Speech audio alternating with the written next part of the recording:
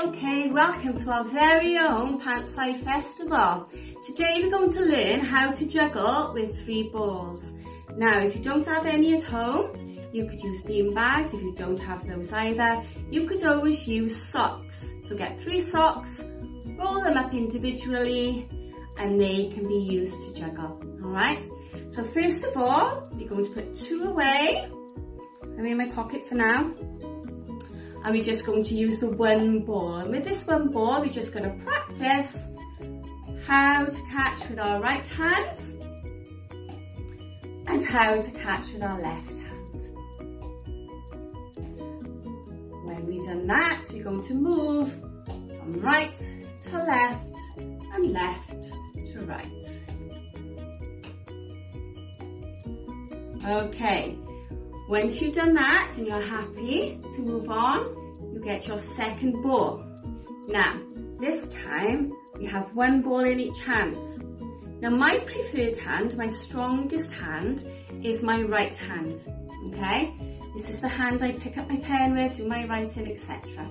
So this is the hand I always start with. So what we're going to do, first we're going to throw with our strongest hand. So I'm going to go right, then left, all right? We're going to cross it over our body. So I'm going to throw right, then left, and then the right ball will drop down into my hand and the left ball will then drop into my other hand. And I'm going to catch them. So I'm going to go right, left, catch, catch. Let's see if we can do it. Are we ready?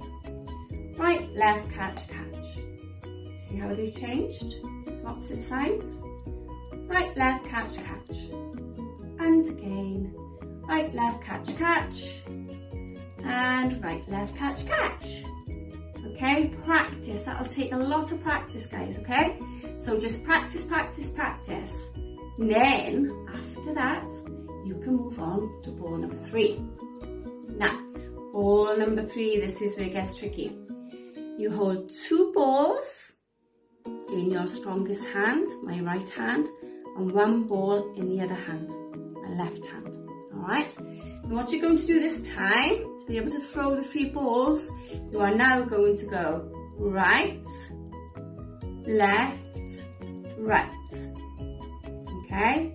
Right, left, right. And then you're going to catch them. Okay? Right, left, right, catch. Let's try it. Right, left, right, catch Do it again, two in my strongest hand, one in my weaker hand, okay? Right, left, right, catch.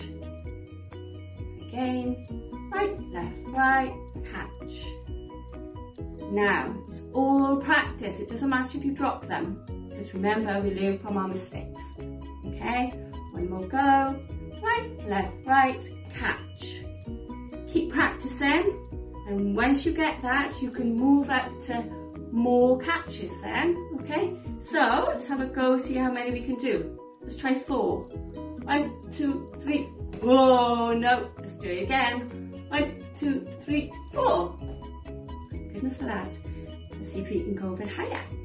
One, two, three, four, five, six, seven, eight, nine. Oh, nine. Pretty good, I think. okay. So keep practicing.